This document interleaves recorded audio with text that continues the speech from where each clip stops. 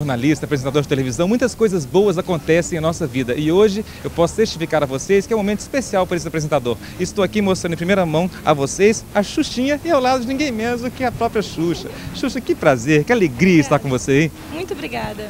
É, e nesse momento que você lança os seus produtos, mostra ao mercado mais uma vez a cara do seu trabalho, que é uma cara ingênua, feliz, alegre. Eu gostaria que você nos contasse sobre estes novos membros da família, irmãos da Sasha? Da Sasha?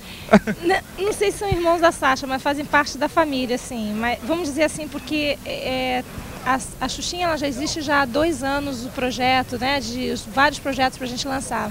Mas agora a gente resolveu é, reunir todas as pessoas que vão lançar os produtos com o nome Xuxinha, que vão chegar a 65 produtos, para a gente fazer essa, tipo assim, essa união, sabe, para poder dar o parabéns por terem escolhido e dar, desejar boa sorte para esse projeto, porque a, a, antes de eu engravidar, a gente tinha pensado na possibilidade de, de fazer um, um, os produtos que têm um nome não só Xuxa, né? Uhum. E sim como seria uma criança que se veste ou que gosta ou que era fã da Xuxa, como ela se vestiria e que as, que as mães mesmo chegam assim para mim e falam assim, olha só, minha filha, é o apelido dela é Xuxinha, porque ela usa os seus chuquinhas e tal. Então tudo isso foi surgindo na vontade, no, na, na, experiência mesmo do trabalho com as crianças.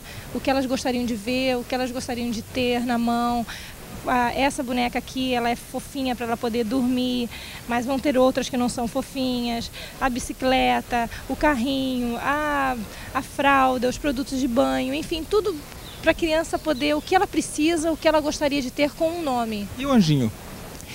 Isso é uma, uma coisa minha, que eu sempre falo que os baixinhos são anjinhos. Eu sempre digo que eles não pensam maldade, eles acordam, querem fazer xixi, cocô. Querem brincar, querem sorrir. Brincar, é. sorrir, vão dormir. Então o que, que é isso? É vida de anjo, né? Não deseja mal para ninguém.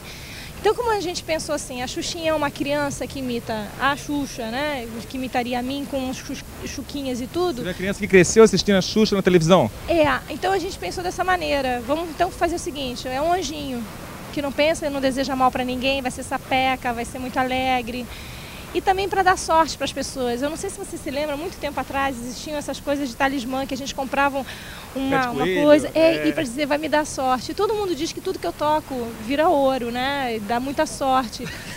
Então, então a ideia foi o seguinte: passar um pouco da minha sorte para as crianças, passar um de, devolver um pouco o carinho que elas têm por mim, entendeu? Esse projeto é feito de coração, então eu acho que é de coração para coração.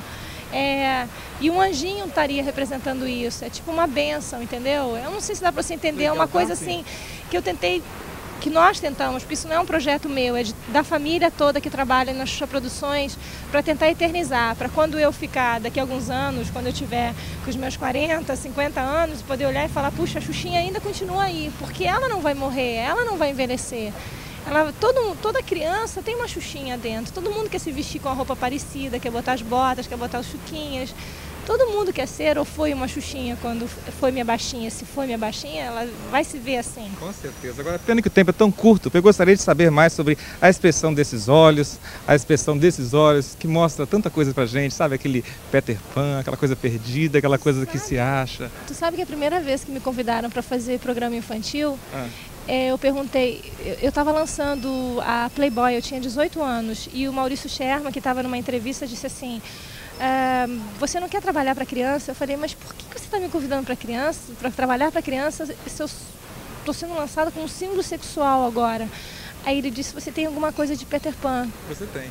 Aí eu falei, você acha? Ele falou, é, Dá para ver aquelas crianças voando na noite, aquela alegria infantil, aquele Neverland, dá para ver, viu? Ai, Xuxa, que prazer. Obrigada, fico muito feliz, porque eu acho que eu, eu, não, eu, não, eu não, não gostei muito de crescer, não.